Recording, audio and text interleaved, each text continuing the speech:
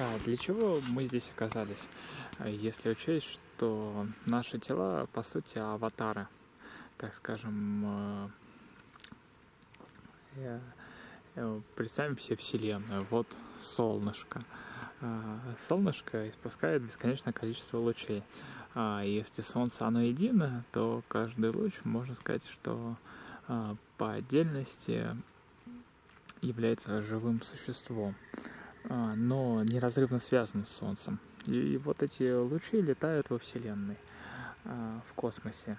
Можно представить ведь таких э, светящихся кружочков, которые э, летают во Вселенной и подлетают, соответственно, к огромному количеству а, планет, которые обитают в этой Вселенной.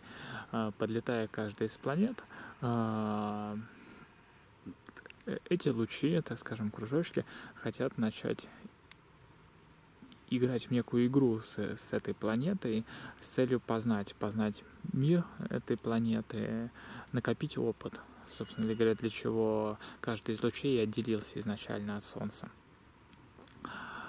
А, и, собственно говоря, Творец э, дал возможность каждому из этих лучей познать через возможность входа в материальное тело.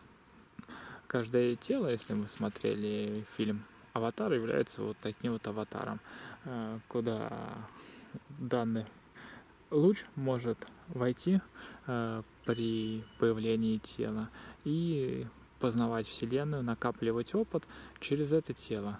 То есть, если хочется понять, кто ты есть на самом деле, э, если ты себя осознаешь э, с точки зрения тела, то ты просто аватар.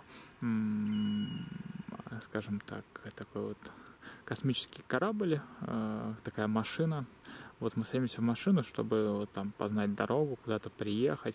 Также и вот эти лучики, отходящие от солнца, садятся в человеческие тела, либо вот в тела животных, либо в тела растений, тела деревьев, а, для того, чтобы познать этот мир. А, то есть главное а, управляющий фактор э, во Вселенной это время время за время мы можем получить опыт. То есть мы меняем наше время жизни на накопление опыта. Поэтому накопление опыта есть самое ценное. А, но накапливать опыт интереснее всего через игру. А, поэтому каждому из своих лучиков солнце дало такой э, дар э, великолепный, как воображение, который, собственно говоря, надо развивать.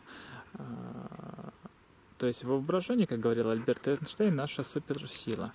С помощью воображения мы можем создавать бесконечное количество игр, с помощью которых мы можем познать э, глубже эту вселенную, этот мир, и через воображение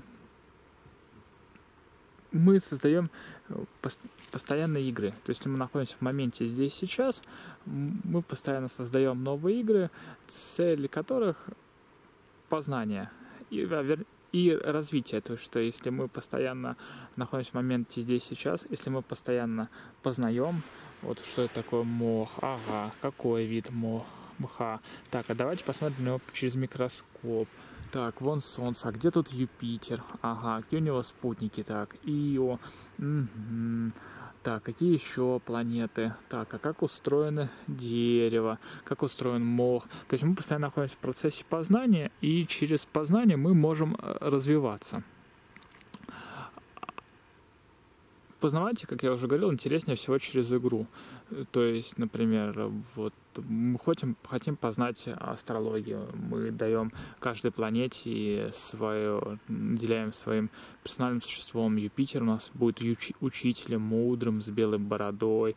Марс будет воином. Венера будет женщиной, с зеркалом.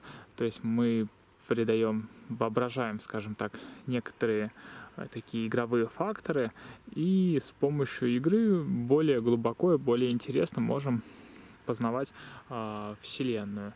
Также там микромир, э, огромное количество существ, микромикробов, микробы, которые э, пытаются нанести вред человеческому телу, микробы-защитники, э,